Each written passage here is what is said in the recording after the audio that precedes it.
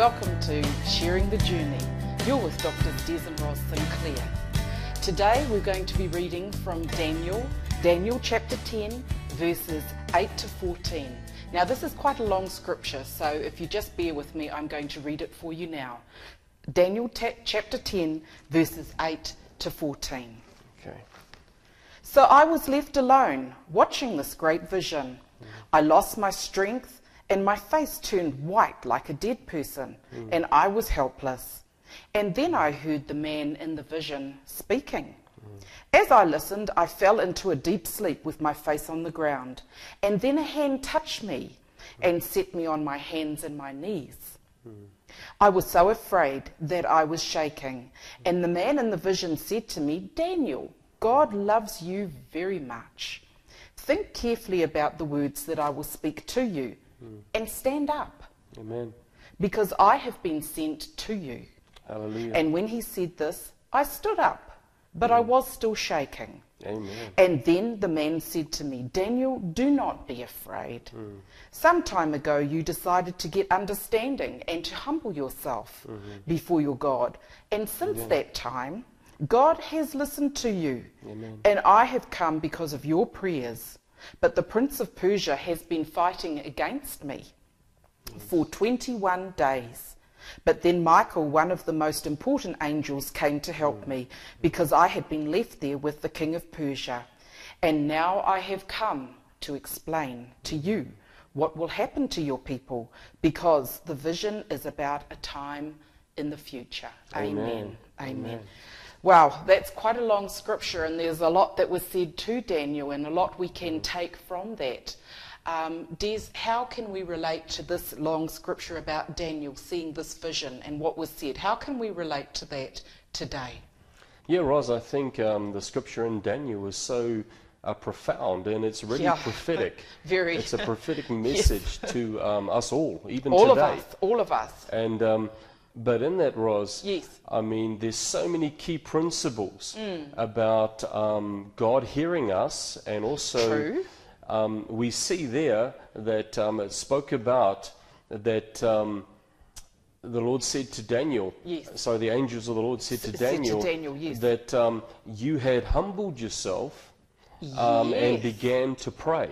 Yeah, that's a key, hey? Amen. That, Yeah. that is certainly a key. Yeah. Because so often, I mean, um, God cannot act and, and hear our prayers because we are the problem. We are the problem. And, and it's he- not God, where are you? But it's we are the problem. absolutely. Yeah, it's so true, Des. And you know, so here we see the angel of the Lord said to Daniel, Because you Yeah. have begin, begun to pray, Yes. and out of prayer, Yes. prayer will humble you. It will. If, now, let me say this, Rose. Yeah. if you are praying for God's will to be done, Th- th- this is the key. Yeah, this is the You know? key. It's not you and your tick list, is it? Exactly. It's not Yeah. your new BMW, Ah. your, your new Ferrari. It's, And your it's- beach house. Exactly. I mean, so often, you know, that's the prayers that God gets all the time. And I mean, yeah, don't get me wrong, Ros. Yeah. I mean, God wants to bless us Of course he does. exceedingly beyond what we could imagine and comprehend. Absolutely. I mean, because we we have an, we are heirs of a royal inheritance. Yeah. I mean, John's very clear. John chapter one, verse eight onwards. You And know. as, even as he said to Daniel, because God loves you so much. And that still Amen. applies to us. Ab- absolutely unbelievable. So you know, I have no problem with God wanting to bless us No. and um, and meet. You know, but the Bible says, "Seek thee first Yes, the the kingdom, kingdom of, of God, God. and His righteousness." There we go. And I will we go. add all these things All unto these you. things. So, you know, Yeah. I, I just want to say this that, I mean, number one, if there are delays in why God is not answering your prayers, mm. number one, the first thing we need to do is humble ourselves Yeah. and pray. That's number one. number one. Not number 10, number one. Amen. I mean, when all else fails. yeah, definitely. Because, you know, and usually the sad reality is, Ros, uh, when we've tried everything ourselves Yeah. and, and, and it's not working, and we're desperate. Yeah, then usually Then- we, we humble ourselves and we cry out to Then God we and say, Him. you know, and then we actually come with a right spirit. You know, and with a There right attitude Yeah. towards God. Yeah, yeah. I mean, and um, here we see the angels of the Lord said to Daniel, even though Yes. Daniel was called and anointed by God, He was, yet the angel said to him, Yes. because you have begin, begun to pray Yes, and humble yourself. and you have humbled yourself. yes, and you Um, sought the Lord. Yeah, that, that is when God is able to Yes. intervene and hear your requests. Amen. Amen. Amen. And I mean that that's so simple, but it's so profound. We make it so complicated, don't we? Absolutely. Especially when we bring our tick list first. yes, absolutely. Yeah. But I, I think here, uh, you know, also if we go to the New Testament, Yes. Ros, in Ephesians chapter 6, Yes. verses 12, and um, we all know it well out there, but um, Paul is addressing, uh, and this is through the New Testament, through grace. Okay. Um, but Paul says in Ephesians 6:12, Yes. "For our battle is not against flesh and blood, but against principalities, against rulers, Yes. against spiritual forces, Forces, yeah. in the heavenly realm." That's true. And so Paul was declaring to the believers Yes. that um, we are engaged in a spiritual battle Constantly. constantly. Yeah. I mean, and if we, we understand that uh, Satan, the devil himself, and a third of the angels Yeah. were cast out of heaven where God is and where God dwells now, Yes. and they were descended to the first heaven. Now, the first heaven refers to this earth that we are upon now. Okay. And so, in that, that's why Paul is able to say in Ephesians 6 Yeah. that we are all engaged in a spiritual battle. Everyone. Because mm. fallen angels are demon spirits. Of course. And the devil's playground is the earth All that we live us. upon. I Yes. mean, you know, in saying that, the devil does not have full dominion No and any authority over a son or a daughter of God. Remember that. Amen. And, Amen. and that's a key thing. Because if we look, um, you know, we know all about Job in the Old Testament. Yeah. I mean, Yeah, we, yeah, he went Yes, through but- hell and high water, didn't uh, he? yeah, it was not lekker. No way. But in saying that, you know, the devil had to come to God and ask God's permission if he could test Yeah. or sift, If he was allowed. you know, Yeah. him before he could have the permission to do so. That's right. So we need to um, not lose heart, understand that um, the devil does not have um, the authority over your life because you are covered, you are sanctified, Yes. you are justified, are. you are pardoned by the righteous blood of Amen. Jesus, Amen. and through the righteous blood of Jesus, Ros, that means the devil cannot just do whatever he wants No to way. play with us. He is under our feet. He is under our feet, but the key is That's this he has to get permission from God Himself. That's it. Now, you may say out there, and the viewers may say, yeah, but that's under the Old Testament, the law of Moses. Yeah. How does that apply in the New Testament? Well, if we, we look in the, in the book of Luke, Yeah. we see the example even with the apostles. That's true. Um, the apostle Peter, it speaks about that Peter had pride in his heart. Yes. I mean, and um, the, uh, the apostles started arguing among Yeah. themselves Yeah. because um, Jesus said he's going to leave them. Yeah. And so they said, well, who's going to be in charge Who's if leading? Jesus goes? Yes. Who's going to become the new head pastor who's of the, the church? so Peter, Yeah. you know, was, was very bold and Peter stated his case. But the key is this, you know, when you state your case, I mean, with pride in your heart, that is when the devil has Yeah. a right to pick up on that. And um, we see there in Luke's Yeah. gospel that, um, you know, Satan came to Jesus himself. Yeah. And he, and and he asked Jesus for permission mm. to sift Peter, Simon Peter, like wheat. Yeah. But uh, Jesus came to Simon Peter and said to him, Yeah. Simon, Simon, Satan has come to me Yes. and asked, Asked me, me, whether he can sift you like wheat. Yeah. I will pray for you, Simon, right. that your faith will not fail you. Yeah. But when you are restored, go and strengthen your brothers. Right. And so bringing it back then to Daniel, what did Daniel do? He didn't state his case before the Lord, but he came humbly. He, Amen. he, he put on a cloak of humbleness. He emptied himself. Amen. All his pride and arrogance and That's right. everything that was not of God. That's right. He first came and emptied all mm. that garbage Absolutely.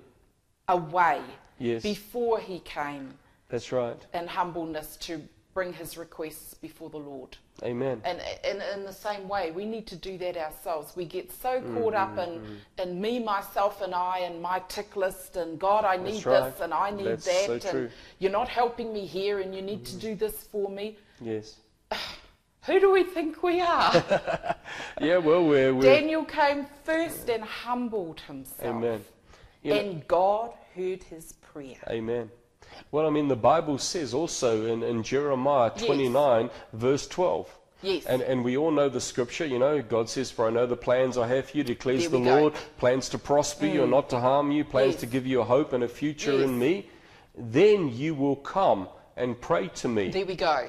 And I will come down and, And listen, listen to, to you. you. There we if go. you seek me with, With all, your, heart, heart. Yes. I will be found will by be you, found by you. declares the Lord. Amen. And There that is go. so profound. Yeah. It says, if you seek me with all your heart. All your heart. And that what that means is a pure heart. That's correct. Not a heart that is coming da, with da, da, conditions, Yeah. but a pure heart as worship unto God. True. Then he says that I will come down Yes.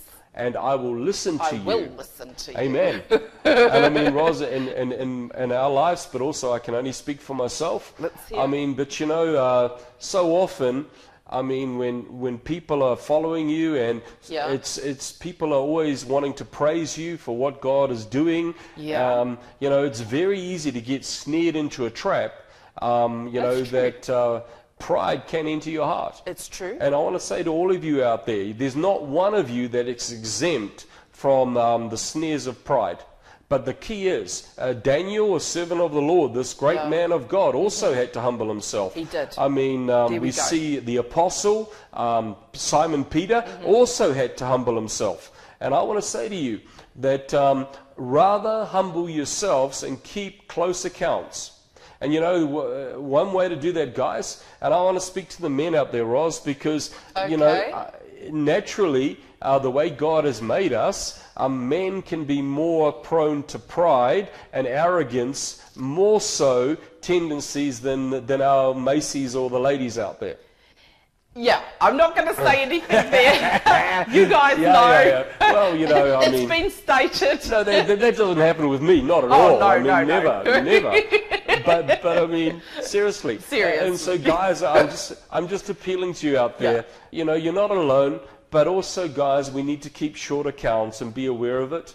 I mean, true. you know, God doesn't judge us for mm-hmm. that, and we are free in Christ. Yeah. But the key is this you know, our pride and our, our self ambition to achieve things Yeah. can um, turn into pride, and Yeah. in that, that can hinder God answering your prayers. That's very So true. all Jess. I'm saying to you guys is keep keep awareness of that. Keep But humble. Keep humble before God. Yeah. Because rather humble yourself before God. Mm. We see uh, si- uh, Simon Peter, the Apostle Peter. I mean, you know, Satan went to Jesus and um, and and was allowed to sift him, to humble him, like wheat. And so all I'm saying to you is rather let us keep ourselves humble before God. Because if we keep ourselves humble before God, Yes. then the devil has no right No and power. the devil has no authority. The Yeah. devil has no We've power. got a fence around ourselves. That's right. Protection, haven't we?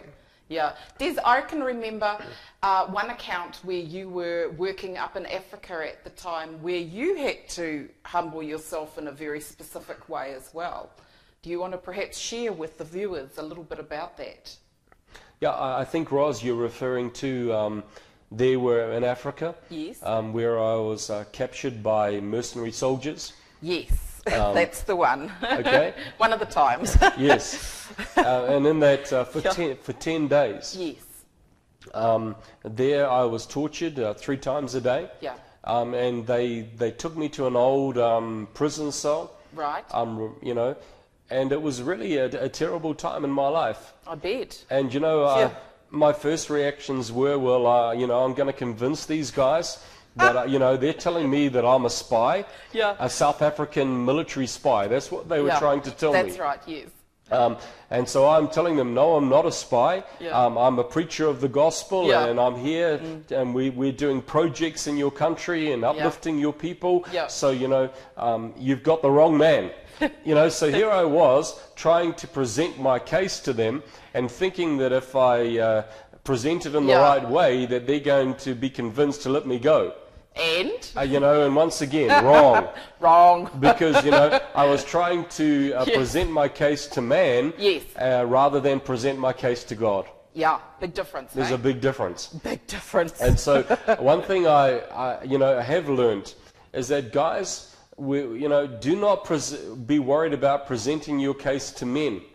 You know, but rather Yeah. first be worried about presenting your go. case to God. Very good. Very and, good. and then That- that- secondly, That's it. yep, present Yeah. your case to God first. Because we fight forces in the heavenly, heavenly realm. realm. Amen. Yes, As you're right. Ephesians six twelve. Amen. You're right. And then secondly, um, also present your case to God number one, Yes. and then to your wife number two, True. Very true. because you know um, when she understands where you're coming from, then there's unity, Yeah. and God commands a blessing. You're right. Uh, one can put one thousand Yeah. to flight. 1,000. That's But right. two standing together in unity can put 10,000 to flight. Yes. And so you see the difference there. Oh, yes. And so, you know, we, we need to stand in unity with our wives. Amen. And um, because when we stand together, God commands a blessing. That's correct. Yes. And there's power in that to overcome all things. In Jesus' name. Amen.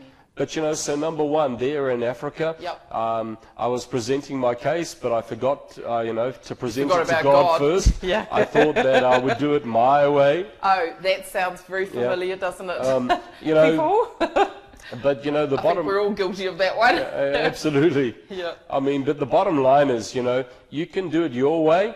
But the end of the day is, you, God can't help you. His hands are tied. exactly. So you know, God had to humble me. Yeah. And um, God really nice. did. It was not lekker. Not nice. Um, and uh, in that, um, you know, they broke my back, and um, you know, I was tortured and you were paralyzed. paralyzed. Yes, and, in that, um, I was just crying out to God and Yes. saying, God, this is not fair. I said, Where are you? Yeah. You need to send the soldiers in here. Yeah. You need to kill all these guys You're around me and take them out. Yeah. I mean, they deserve whatever they get. That was my thinking Okay. at the time. Yeah. You know, that was my pride and you know my arrogance towards that. But you see, I was out of line.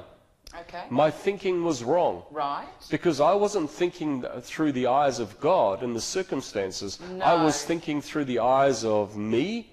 I'm getting my butt kicked. Yeah, I'm getting tortured. yeah. And this is unjust and unfair. It Very was- carnal. Carnal. It was all about me and my survival mode. That's it. And, it. and, you know, I wasn't thinking about how God saw these soldiers. yes.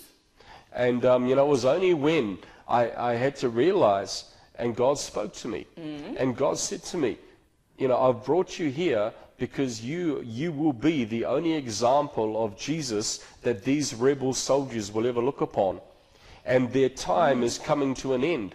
And I've Okay. brought you here so that they can know that I love them and that I forgive them so that they will not perish and be separated for, from me for Yeah. eternity, but rather you will speak on Yeah. my behalf Okay. and they will come into my kingdom. There was a much bigger purpose. There was a far bigger purpose Yeah. for us.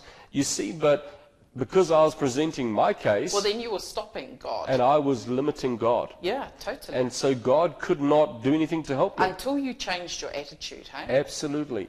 I, I, I, that's it. I had to change my attitude Yeah. to the way God saw a sinner. You know, Mm. the, the soldiers, it was all unjust. And yes, I was getting a hiding and getting beaten, and I was not happy. Yeah.